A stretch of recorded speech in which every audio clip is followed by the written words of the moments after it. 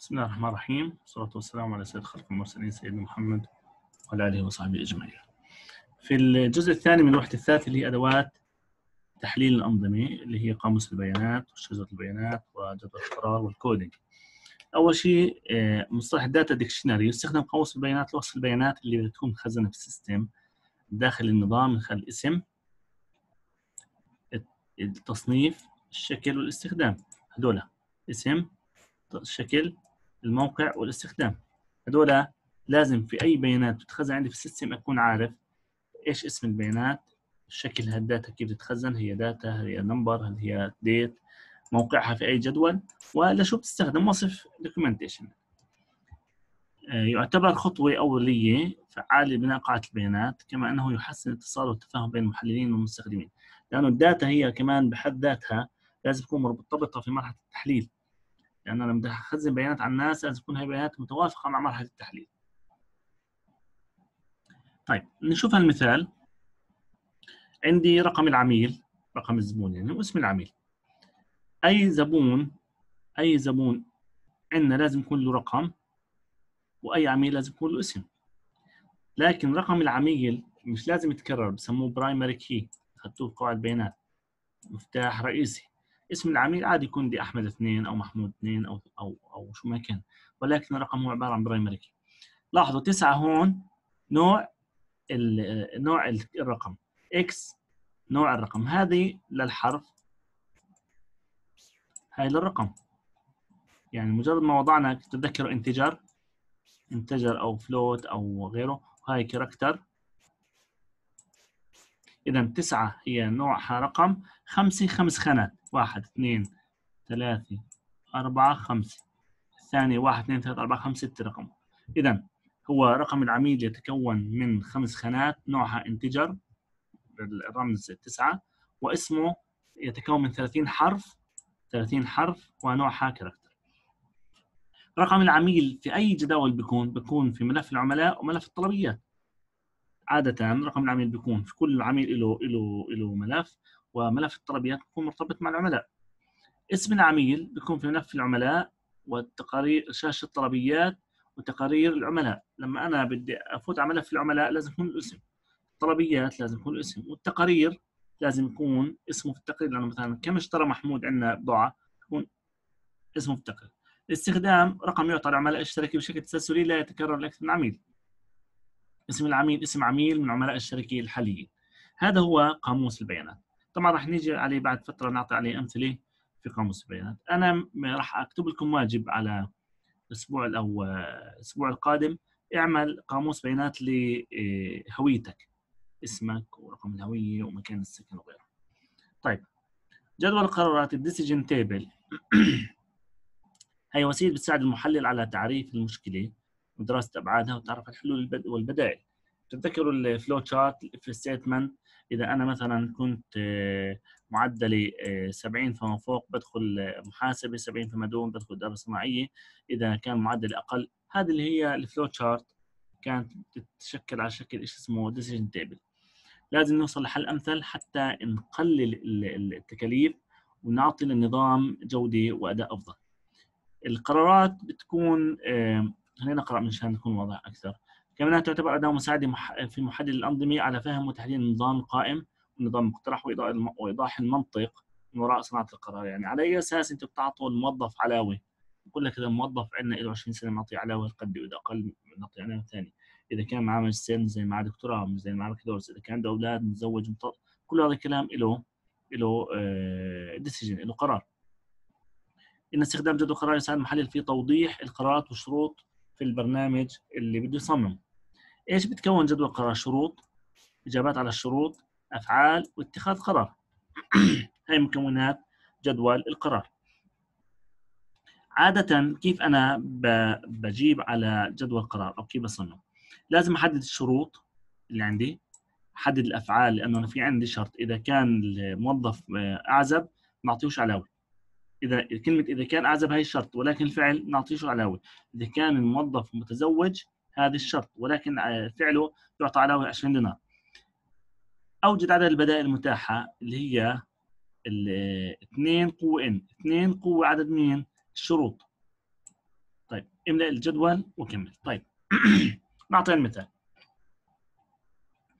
مؤسسة تمنح العلاوة الاجتماعية وفقا للسياسة التالية. إذا كان موظف مواطنا ذكرا هذا شرط. تمام؟ إذا كان ذكر ومتزوج نعطيه 200 إذا كان ذكر وعزب نعطيه 100 إذا كان موظف أنثى هاي شرط ثاني. فلا تمنح علاوة اجتماعية بغض النظر عن جنسية كون الجدول قرار لهي الحالة كون جدول قرار لهي الحالة لاحظوا هون قال لك. الشرط الأول مواطن أو غير مواطن. هسه هو جاب لك. إذا كان موظف مواطن ذكر شرط. إذا كان موظف أنثى شرط. ولكن كلمة موظف غير مواطن ما جابهاش ولكنها شرط. هي واحد هي اثنين. الشرط الثاني ذكر وأنثى لأنه في عندي أنثى. هي ثلاث شروط. اثنين قوة ثلاثة يكون ثمن أعمدة في الجدول. طيب. الأفعال. إذا كان الفعل الأول إذا كان مواطن وذكر يعطي كم؟ 200 إذا كان مواطن ذكر يمنح متزوج يمنح 200 إذا كان مواطن ذكر وأعزب يمنح 100 إذا كان أنثى لا تمنح أي علاوة. بغض النظر عن الجنسية. شوف البدائل عندي اثنين قوة ثلاثة اللي هي الشروط تساوي ثمانية بعمل جدول مكون من ثمان أعمدة. أول أربعة نعم ثاني أربعة لا. نعمين لا. نعمين لا. نعم لا نعم لا. دائما هيك. إذا كان في عندي أربعة يكون أربعة ثمانية. إذا كان أربعة في اثنين نعم واثنين لا نعم لا نعم لا. إذا كان ثلاثة أول أربعة نعم أربعة لا. اثنين نعم اثنين لا اثنين نعم اثنين لا. نعم لا نعم لا وبكمل طيب. هاي النعم ولا شو هي؟ اللي هي الشروط. المواطن الموظف مواطن؟ نعم ولا الجنس ذكر؟ نعم لا. الموظف متزوج؟ نعم لا. إذا الشروط اللي عندنا الشروط اللي عندنا. مواطن وذكر ومتزوج آه، هي ثلاث شروط. إذا عندي مواطن وذكر ومتزوج اثنين قوة ثلاث ثمان أعمدة. الأفعال يمنح 200 يمنح 100 لا يمنح. شوف شو بقول طلع إذا كان مواطن نعم. وإذا كان ذكر نعم. وإذا كان متزوج نعم. شو بدي أعمل؟ طلع هنا قال لك إذا كان مواطن وذكر ومتزوج يمنح 200 باجي هون عند ال 200 بحط له صح. تمام؟ هي زي ال if statement if ال employee مواطن وإذا كان ذكر وإذا كان متزوج يعطى 200 دينار. هذا بترك طيب إذا كان مواطن وذكر ومتز... وعزب كم بيعطيه؟ 100 هي قال لك إذا كان مواطن وذكر وعزب يعطى 100 حطينا الصح هون. طيب إذا كان مواطن وأنثى لا يعطى شيء. إذا كان مواطن وأنثى وعزب ومتزوج لا يعطى شيء. يعني دول اثنين مالهم ما بستفيدش منهم. طيب إذا كان غير مواطن لاحظين وذكر ومتزوج يعطى كم؟ 100 دينار. إذا كان غير مواطن طبعا هذه للأسف ما كان الكتاب ذاكرها ولكن إذا كان الموظف غير مواطن إذا كان غير مواطن وذكر يعطى 100 دينار. طيب. إذا كان آه الغير مواطن وموظف ذكر ومتزوج يعطى 100 دينار. إذا كان غير مواطن إذا كان غير مواطن وذكر وغير متزوج لا يعطى. إذا كان الموظف غير مواطن وأنثى لا يعطى. وإذا أي أنثى لاحظوا هون أي أنثى عندهم في السيستم لا تعطى. يجيها مباشرة رفض للعلاوي. لاحظين؟ شوي بده شوية تركيز ولكن بعطيكم عليه مثال إن شاء الله ثاني بيكون أوضح لكم. طيب. هاي المرحلة الأولى. المرحلة الثانية لازم إن نشيل التكرارات. لاحظوا ثلاثة وأربعة ثلاثة وأربعة وسبعة وثمانية ثلاثة وأربعة وسبعة وثمانية هدول قرارهن واحد لا يعطى. البقية مختلفات. لازم نختصرهم وهو واحد وهو واحد لأنه الجنس ذكر فلا يمنح على شوف واحد خليها زي نعم نعم نعم خليها زي ما هي. اثنين نعم نعم لا خليها زي ما هي. هذول تبقى وهي راح تبقى. آه خمسة وستة خمسة وستة بقوا زي ما هم. خمسة وستة بقوا زي ما هم اللي هم لا لا نعم نعم نعم لا لا لا نعم نعم نعم لا. طب هاي الثلاث من اجت؟ لحظة هذول الثنتين. هون هذول الثنتين هون. هاي من وين اجت؟ الدمج. اندمج هذه الأمور. شو قال لك؟ قال لك الموظف شو ما كانت جنسيته شو ما كانت حالته الاجتماعية إذا كان أنثى لا يعطى شيء. لاحظوا هنا هذول كلهم مالهم أنثى أنثى أنثى أنثى. قصده هون شو ما كانت مواطن ولا غير مواطنة متزوج ولا عزبة إذا كانت أنثى لا تعطى شيء. هذا اختصار للجدول. هذه الطريقة شوية ممكن في هذا المثال شوية مش كثير واضحة ولكن إن شاء الله في فيديو ثاني بوضح لكم مثال ثاني. أو في discussion هذه الطريقة اللي ممكن من خلالها أنا بعمل بعمل جدول قرارات. إذا كمان مرة بشوف الشروط. بشوف الشروط. هون لازم يكون في عندي شرط إذا كان غير مواطن يعطى 100 دينار إذا كان متزوج لا يعطى شيء إذا كان أعزب. هذا في عندنا خلل في الكتاب.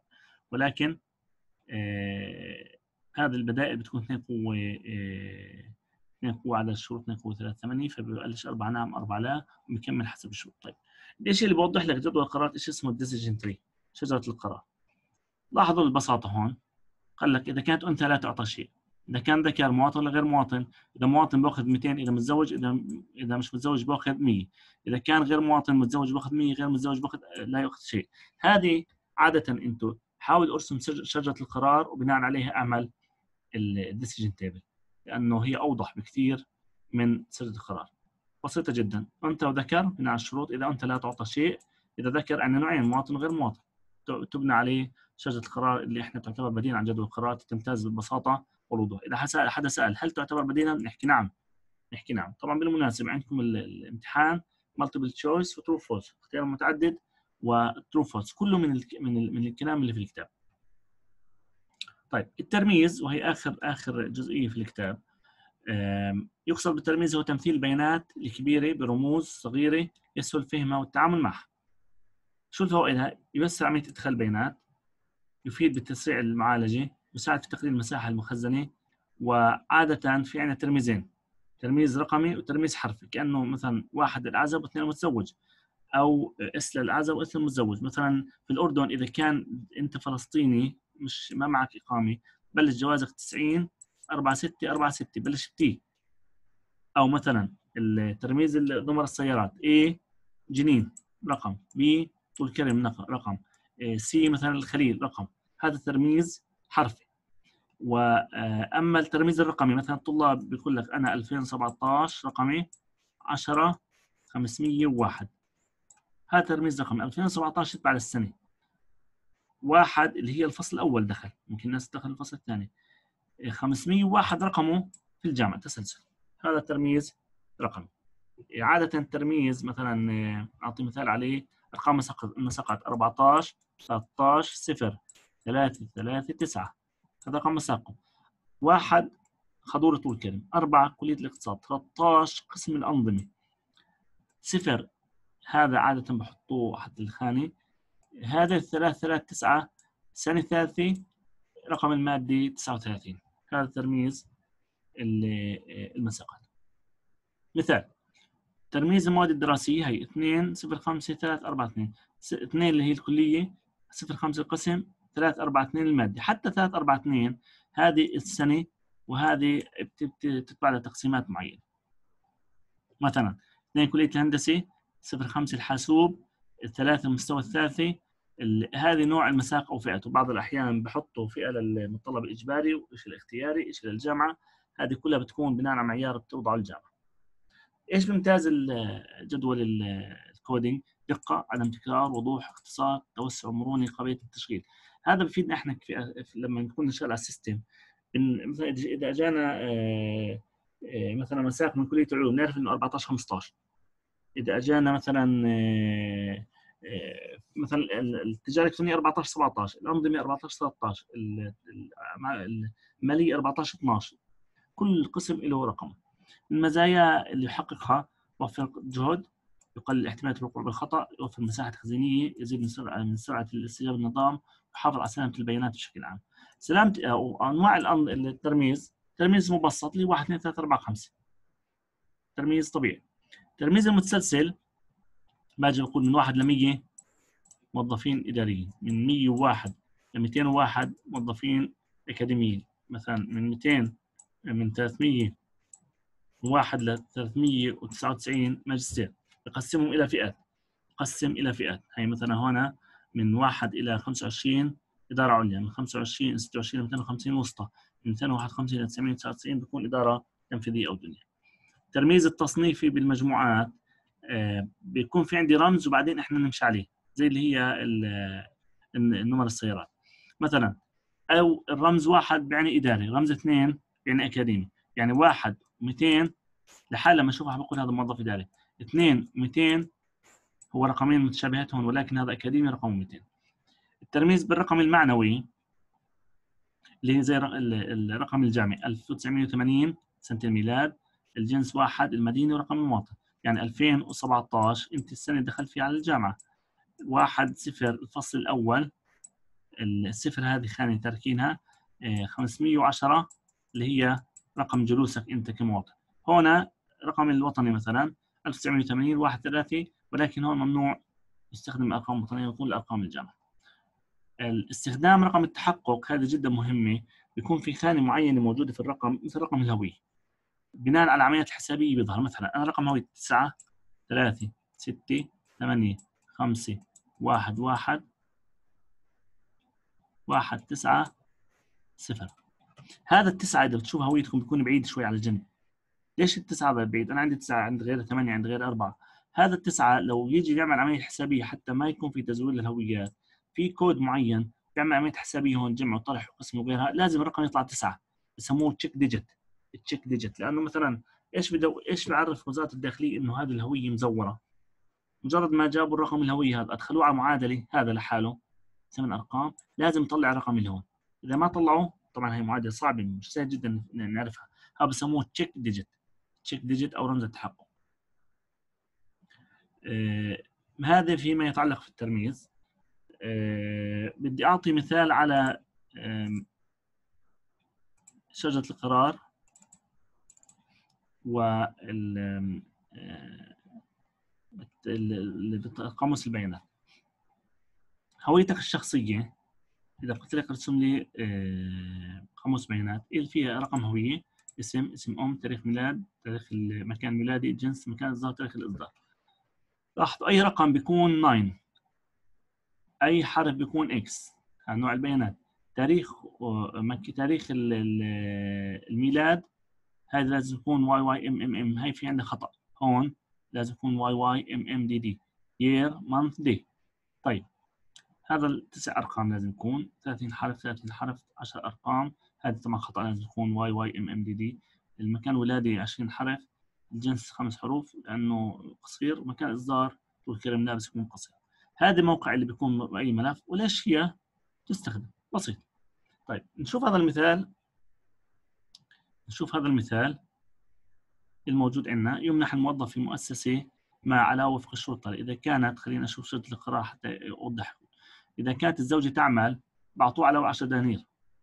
إذا كانت الزوجة لا تعمل بيسألوا سؤال عندك أطفال؟ بعطوه 50 دينار على كل طفل. إذا لا يوجد أطفال بعطوه 30 دينار على الزوجة هون أنا آه، بفهم بفهم السؤال أكثر. ممكن على أساسه أنا أكتب جدول قرار. كم قرار عندي؟ أو كم شرط اثنين؟ اثنين تكون اثنين أربعة. يكون في عندي أربع أعمدة اثنين نعم واثنين لا. الزوجة تعمل يوجد أطفال. هي هون. الزوجة تعمل ويوجد آه، أطفال. يقسمها. طيب. إذا كانت زوجة تعمل اثنين نعم واثنين لا يوجد أطفال اثنين نعم واحد نعم واحد لا. طيب. إذا كانت الزوجة تعمل يوجد يوجد أطفال هي. إذا كانت الزوجة تعمل يوجد أطفال بعطوه علاوة 50 دينار. وين بحط الصح؟ عند ال 50 دينار إذا كانت الزوجة تعمل ويوجد أطفال نرجع كمان مرة.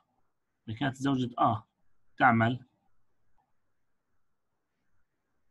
و10 دنانير صح. طيب إذا كانت الزوجة تعمل لا يوجد أطفال. إذا كانت الزوجة تعمل لا يوجد أطفال ما عنده شيء. أعطوا 10 دنانير صحيح. الزوجة تعمل هون بالمناسبة الزوجة تعمل عندها أطفال ما عندها أطفال بعطوا 10 دنانير. اختصر على حاله طيب إذا كانت لا تعمل وعنده أطفال لا تعمل ويوجد أطفال بعطوه 50 دينار لكل طفل. بحط الصح وين؟ عند ال 50 دينار. طيب إذا كانت لا تعمل لا يوجد أطفال لا تعمل وجه أطفال اللي اعطوها ز- آه، علاوه 30 دينار. هي حط 30 دينار اللي علاوه طيب لاحظوا هذول اثنين بيشبه بعض هذول مختلفات. بجيب ثلاثة وأربعة بخليهم زي ما هم. الاختصار. لا لا. نعم نعم بخليهم زي ما هم. وبجيب هذا. نعم نعم. بخليه زي ما هو. نعم لا بحطه إكس بحطه إكس يعني الزوجي تعمل بغض النظر عنده أطفال ما عنده أطفال باخذ 10 دنانير. هذا مثال بسيط. طبعا راح أجيب لكم مثله أنا في ال assignment الأسبوع القادم أو حسب شو بيطلب من ال assignment وإن شاء الله تكون الأمور واضحة بده شوية تركيز. هاي أنا بدي أعرض لكم المثال أمامكم. ممكن في حلقة النقاش اعمل لكم شيء مقارب له حتى تفهموا الموضوع. إيه، في نهاية ال chapter هذا يكون أنهينا الموضوع. الجزئية اللي بقيت من هذا الشابتر عبارة عن تقارير بشرحها إن شاء الله في الجانب العملي. بتمنى الأمور تكون واضحة بالنسبة لكم. في حال إنه إن شاء الله يوم الأربعاء بنعمل الزوم ميتنج على الساعة 9 وربع حسب الجدول أو 9 ونص مش متذكر.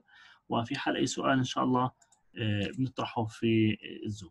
يعطيكم العافية والسلام عليكم ورحمة الله وبركاته.